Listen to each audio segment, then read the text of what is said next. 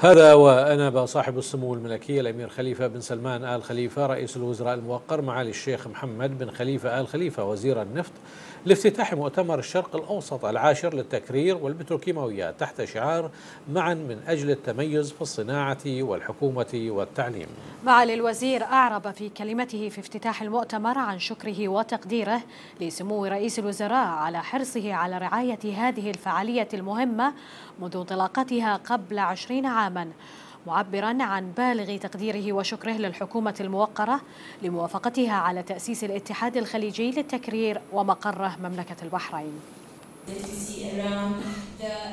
معا من أجل التميز في الصناعة والحكومة والتعليم هو الشعار الذي حمله مؤتمر الشرق الأوسط العاشر للتكرير والبتروكيماويات بتروتيك 2016 لمواكبة ما تحقق من نجاح في قطاع البتروكيماويات الهام في المنطقة.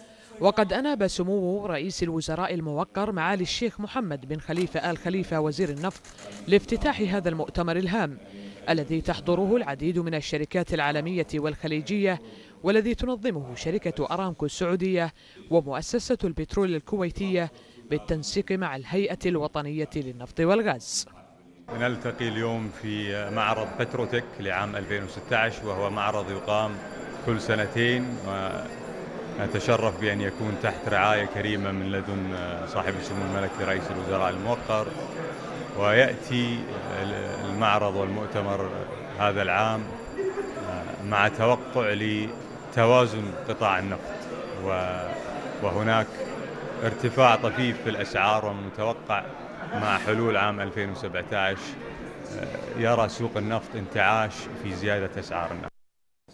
وأشاد معالي الشيخ محمد بن خليفة آل خليفة وزير النفط بالجهود المبذولة التي قامت بها الشركات النفطية في مجلس التعاون لدول الخليج العربية من أجل تعزيز ريادة دول مجلس التعاون في مجال صناعة التكرير مؤكدا على أنه ورغم الانخفاض في أسعار النفط الخام العالمية عن مستوياتها القياسية إلا أن قطاع التكرير قدم فرصة غير مسبوقة للتوسع وزيادة في الأرباح. وذكر معاليه أن مملكة البحرين تركز بشكل متزايد على قدرات قطاع التكرير والتي شكلت فيه استثماراتنا لأكثر من 60% من إجمالي عائدات التصدير في السنوات الأخيرة. في هذا التجمع نجد كثير من الشركات الخليجية تلتقي وهي في مجال التكرير والبتروكيماويات لتبادل الخبرات والنظرة للمستقبل. وتبادل الآراء في مستقبل إنتاج التكرير والتقنيات المستخدمة. وقد عقدت الجلسة الافتتاحية التنفيذية العامة للمؤتمر تحت شعار التراجع الاقتصادي وتأثيره على صناعات النفط التحويلية. شارك فيها المهندس أمين الناصر الرئيس وكبير التنفيذيين الإداريين لشركة أرامكو السعودية والسيد نزار العدساني الرئيس التنفيذي لمؤسسة البترول الكويتية والسيد لافان مارتن العضو المنتدب لمجموعة بوستن للاستثمارات.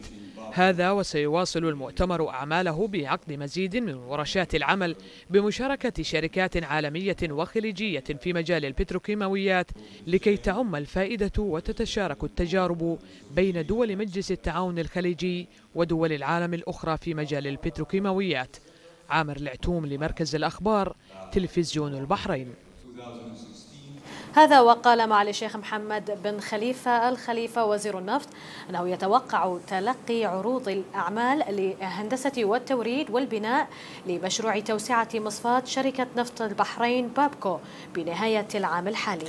وخلال مؤتمر الشرق الأوسط العاشر للتكرير والبتروكيماويات أشار وزير النفط إلى أن الأعمال التمهيدية لتوسعة مصفاة سترة قد تمت بالفعل موضحا أن خط أنابيب جديد لنقل النفط بين السعودية والبحرين سيدخل الخدمة في العام 2018 ما سيساعد في تغذية التوسعة.